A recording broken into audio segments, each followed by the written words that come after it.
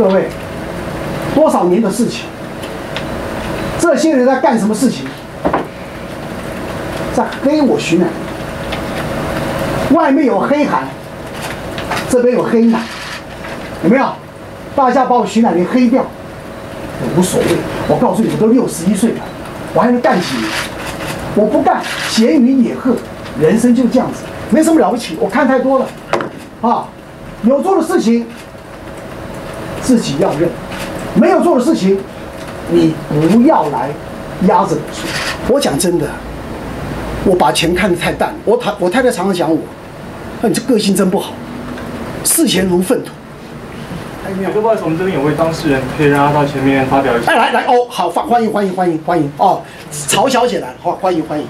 我没有想到你会出现，因为我不是艺人，哦所以我讲话我可能会发抖。嗯，我这次你要不要麦愿意克风讲？不用，哦，我这次因为我愿意站出来，是因为我在电视上看到奶哥说他百分之两万要告养女，我钱没有了，我再赚就有。我不是大龙虾的股东，我去北京周红，刚刚奶哥都说了，能够在中国大陆拿到中字头的公司，是帮了非常大的力。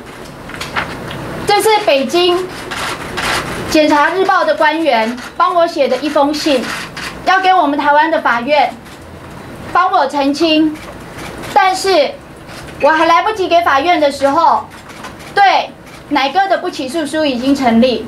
你不是说我欠你三百多万吗？你不要激动嘛！我说，不是你，我说，你不要激动，你不要激动。对，事情走到这个地步，我没有，我没有怎么不是。你说我又没有跟你借钱嘛？你怎么你你不要？，那我有跟你借钱吗？好你不要激动嘛！不是你告诉我我有没有帮你借钱不要激动。你看他不讲我现在说三百五十万，我们来说房子。